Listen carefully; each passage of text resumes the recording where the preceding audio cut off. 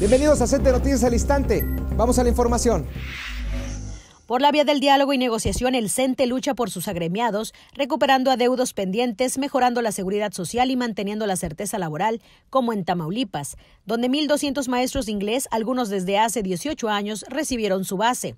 Destacó el secretario general maestro Alfonso Cepeda Salas, acompañado del gobernador Francisco Javier García Cabeza de Vaca, que calificó de histórico el evento. El dirigente del CENTE dijo que estos nombramientos son un acto de justicia, pues los profesores ahora podrán dedicarse de tiempo completo a la enseñanza-aprendizaje, sin zozobra de no saber si mantendrán su empleo como ocurrió por años. Además, agregó gozarán de los beneficios y prestaciones que el CENTE ha logrado como servicios médicos, estímulos, profesionalización, aguinaldo y el ingresar al sistema de ahorro para el retiro de trabajadores de la educación de Tamaulipas, cuyas instalaciones se amplían para brindar un mejor servicio y que al jubilarse permite al agremiado retirar su ahorro con rendimientos. Posteriormente, al reunirse con más de 5.000 agremiados tamaulipecos, junto con el secretario general de la sección 30, Rigoberto Guevara Vázquez, llamó a la unidad y a avanzar fortalecidos en la ruta de la transformación sindical.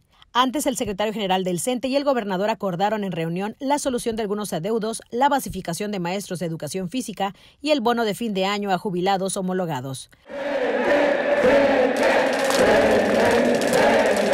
Santa Fe Martínez, CENTE Noticias. Gracias por acompañarnos. Soy Rodrigo Maínez. Esto fue Cente Noticias al Instante. Aquí y ahora está usted informado.